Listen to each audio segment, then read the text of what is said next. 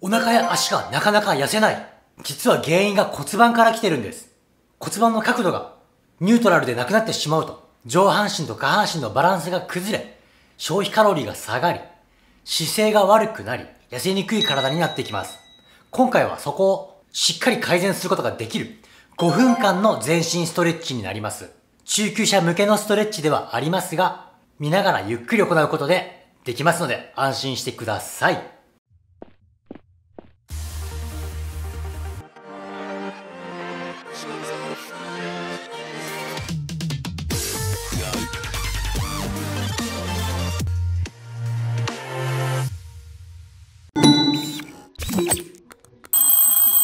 はい、皆さんこんにちは、タートルです。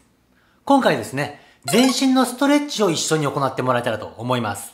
今回のストレッチすることで、首と肩甲骨、お腹と腰、お尻と足、全部伸ばすことができます。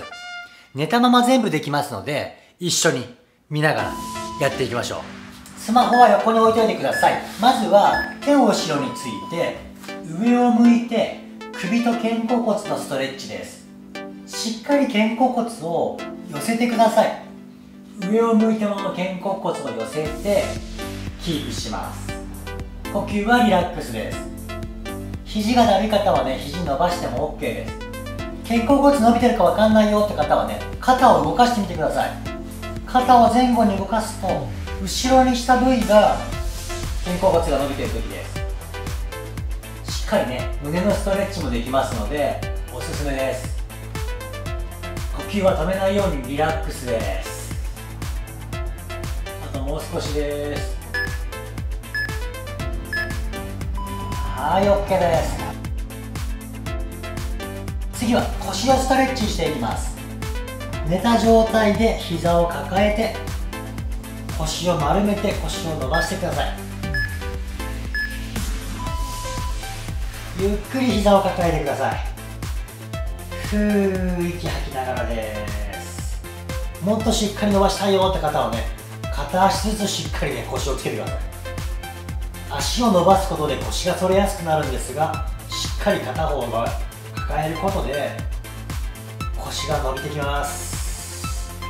さらに伸ばしたいから足をね赤ちゃんみたいに広げて足でね下に押してですね腰を伸ばすと。よく伸びますと。これはね中級者向けです。足をブラブラしながらね腰を伸ばしてください。ふー朝はちょっと腰が痛いですね。はい。今度はお腹を伸ばしていきます。コブラのポーズです。うつ伏せから脇の下に手をついて上を向いて上向いてキープです。肩が上がらないように肩の力をねこうブラブラさせながら力が入らないようにしてください。体を左右に振るとねお腹の伸びる感覚がよくわかります。腰が痛い方はちょっと角度をね緩めて伸ばしてください。お腹と腰がね伸ばされるとね姿勢が良くなります。息を止めないようにリラックスです。あーお腹が伸びる。あーオッケー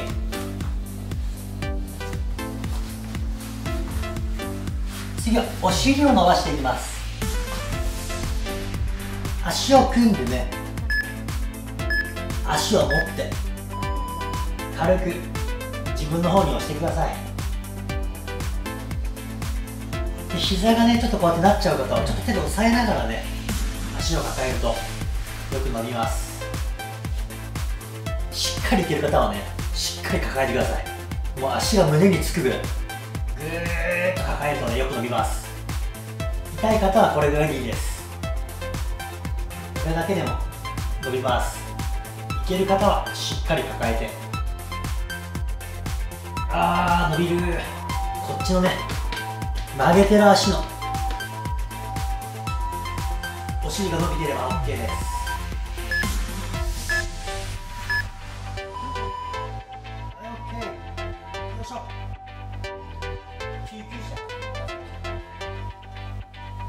はい、ラスト。前もも、裏ももを伸ばします。足を組んで、寝ます。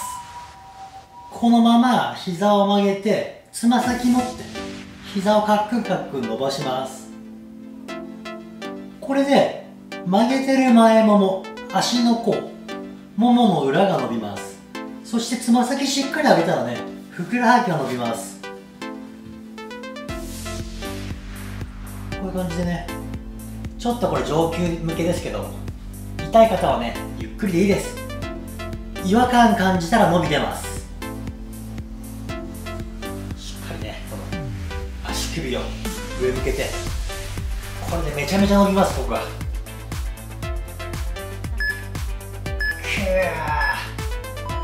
オッケーお疲れ様でした。